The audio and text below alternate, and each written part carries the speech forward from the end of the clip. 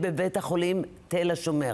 ועל כמה אנחנו... ועדיין המסכת לא השתנתה. ועל כמה אנחנו לא יודעים. נכון, שהם. מתו או התאבדו או שמו קץ לנפשם. אנחנו לא יודעים לעשות את הקשר הסיבתי. יודעים- בדיוק, גם הם לא יודעים. אתה מבין? הקשר הסיבתי זאת המילה שלהם. אני מאוד מודה לך. תודה רבה. תודה רבה, תודה שבאת. תודה. תודה. טוב, נמשיך בעניין כן. הזה ונגיד אה, ערב טוב לדוקטור לירז מרגלית, שלום לך.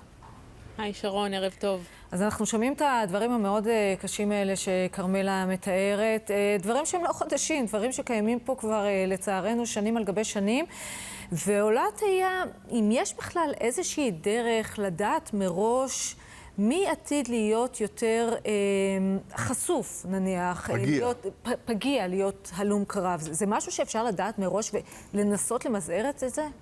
אז אנחנו מדברים על כמה גורמי סיכון פה. קודם כל, יש טראומה בילדות שמהווה גורם סיכון משמעותי. אנחנו מדברים גם על אה, הפרעת אישיות, הפרעת אישיות גבולית, פרנואידית, אנטי-סוציאלית. אנחנו מדברים גם על מערכות תמיכה חברתיות. אם יש משפחה חמה ואוהבת, אם יש מערכת תמיכה של חברים, אפילו אנחנו רואים שאנשים, חיילים שהם יותר חדשים ביחידה, אה, הם נמצאים בגורם סיכון יותר גבוה מהבחינה הזאת. עכשיו אנחנו מדברים גם על רגישות גנטית אה, למחלות פסיכיאטריות הרבה פעמים. יש לנו נוירוטרנסמיטורים שמווסתים אה, גורמי לחץ וחרדה אצלהם, אה, המוליכים העצביים האלה קיימים הרבה פעמים ברמות נמוכות יותר. אנחנו מדברים גם על מחסור כרוני בשינה.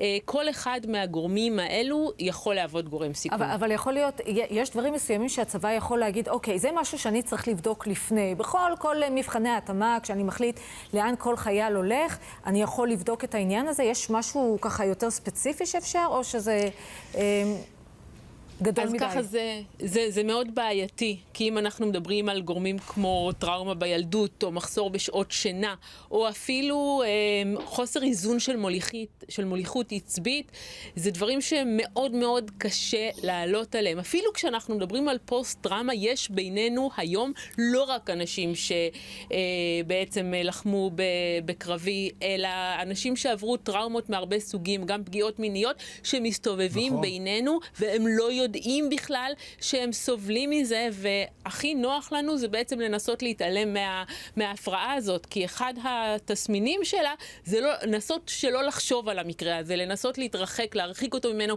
מאיתנו כמה שיותר, ולכן אה, אנשים מסתובבים בינינו, אחוזים מאוד מאוד גבוהים שהם פשוט לא מאובחנים. אבל יש אה, עלייה במודעות לעניין הזה. אנחנו יודעים שבמלחמות הראשונות, איך נקרא להם, זה כמעט ולא לא היה קיים בכלל העניין הזה של פוסט-טראומה.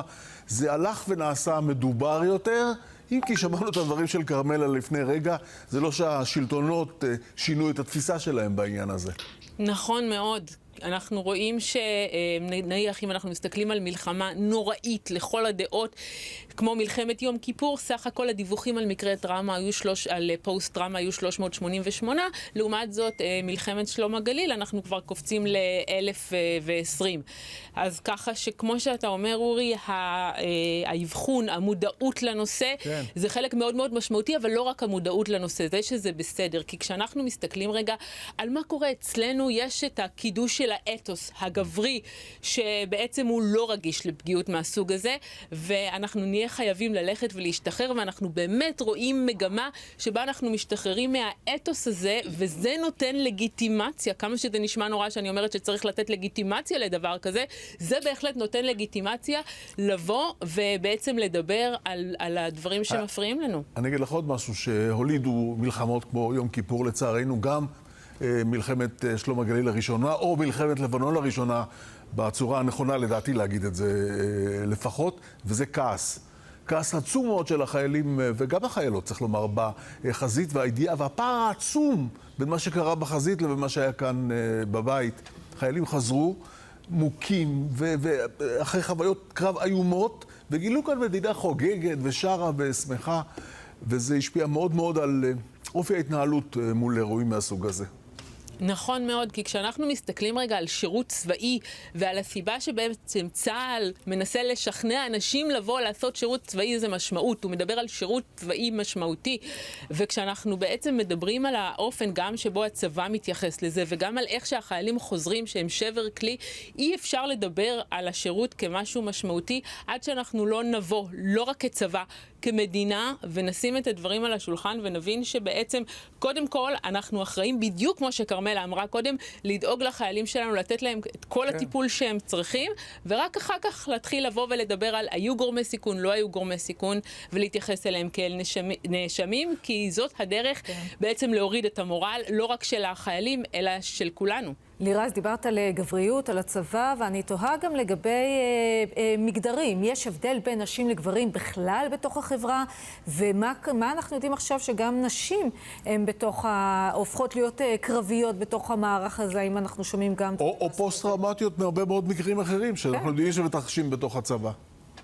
נכון. אז uh, באופן כללי, כשאנחנו מדברים על פוסט-טראומה, אז פוסט-טראומה זה uh, בעצם הפרעה שהיא הרבה יותר מאפיינת נשים, אלא אם כן אנחנו מדברים uh, על הצבא, ששם באמת זה מאפיין יותר גברים, כי עד היום לפחות, uh, אז הרבה יותר גברים שירתו בתפקידים קרביים, ושם החשיפה uh, וגורמי הסיכון בעצם לקבל פוסט-טראומה היו יותר גדולים. את, אבל... אומר, את אומרת שבכלל החברה זה יותר נשים, למה? בגלל פגיעות מיניות למשל? כאילו, בגלל, כאילו, מה לא, הגורם? לא, לא למשל, בדיוק. Okay. מה אוקיי. שאת אומרת. בגלל פגיעות מיניות שהן יותר נפוצות אצל נשים מאשר אצל גברים, אצל, אצל נשים זה הרבה יותר נפוץ. Mm-hmm. אבל באמת שהשאלה היא בעצם למה היום אנשים הולכים לשרת בצבא, ואני חייבת לומר שבאמת יש פה איזשהו שינוי מגמה, כי אם בעבר אה, אנשים אה, הלכו להילחם למען אידיאולוגיה, למען המדינה שלנו, היום אנשים הולכים כדי להגשים את עצמם. זה בצורה מאוד מאוד ברורה, הם מנסים לבוא ולייצר עבור עצמם משמעות ולהשתמש בזה כקפיצת דרך. היום העולם הולך ונהיה יותר אה, נכון. אינדיבידואליסטי, ולכן גם יש שינוי וגם זה פחות מקובל, כלומר פחות מתקבל על הדעת מבחינת הערכים ומבחינת הסיבות שאנחנו הולכים לשרת. שאנשים מוכנים לסבול אה, את המקומות האלה של פוסט-טראומה. כן, אבל עדיין כשאתה מגיע לצבא, אז לא תמיד אה, שואלים אותך מה אתה רוצה. וגם יש עוד עניין שאנחנו לא... לוקחים אותך לאן שלוקחים. אני לא רוצה להיכנס לזה לעומק, אבל אה, העניין, כל תמונת הקרב משתנה. אוקיי, הקרב נראה אחרת. אנחנו לא רואים כמעט היום, תודה לאל אולי, אני לא יודע, מין קרבות כאלה בשטח, טנקים והדברים הנוראים האלה. לא, אבל עדיין הצבא מתאמן על הדבר הזה. מתאמן, מתאמן, לא מדבר על הטראומה. היום רוב הקרבות הם מאחורי הקלעים, אבל... כל מי שהיה במלחמת, גם לבנון הראשונה וגם השנייה, בשטח עצמו, שם נולדה הטראומה. היום, את יודעת, המחשבים, הכל מתנהל קצת אחרת, נדמה לי לפחות. שקצת משנה את התהליך. אבל, אבל זה גם יכול לייצר טראומה, לא? גם אם מישהו הוא חייל שלא נחשב אה, קרבי בשטח, אבל הוא כן קרבי, נניח מבחינת סייבר, יכולה להיות לו פוסט-טראומה? תראי, אנחנו, כשאנחנו מסתכלים בעצם על ההגדרות ב-DSM לפוסט-טראומה, אז אנחנו מדברים על אה, מקור ראשון אה, של חשיפה לאירוע מאוד מאוד טראומטי של איום על החיים, של בעצם הימצאות במצב מסכן חיים, ולכן, לפי ההגדרות לפחות, אז לא, אז אנחנו לא מדברים על פוסט-טראומה, וגם כשאנחנו שומעים על אירוע או רואים אותו בסרט... כלומר, טייסים יש פחות פוסט-טראומטיים.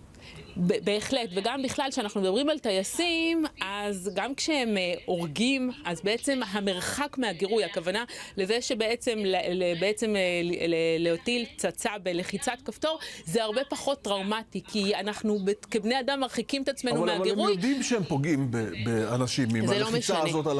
זה משנה. מה שחשוב זה הרגש. כי את רואה שבהרבה מקרים הטייסים חתומים על לא מעט מכתבים.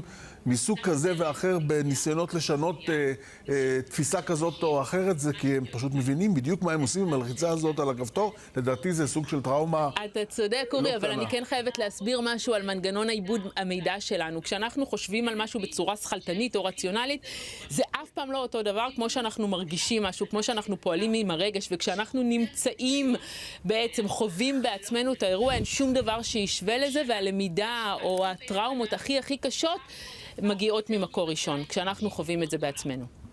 טוב, אנחנו רוצים להודות לך, תודה רבה. דוקטור לירז מרגלית, אנחנו מודים לך, תודה רבה. ערב טוב. תודה רבה. תודה, תודה. טוב, אנחנו יוצאים להפסקה קצרה. נכון. יאללה, ממשיכים.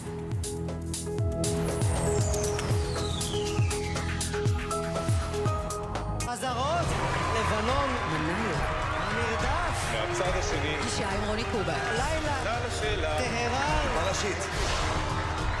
מרגש בטירוף.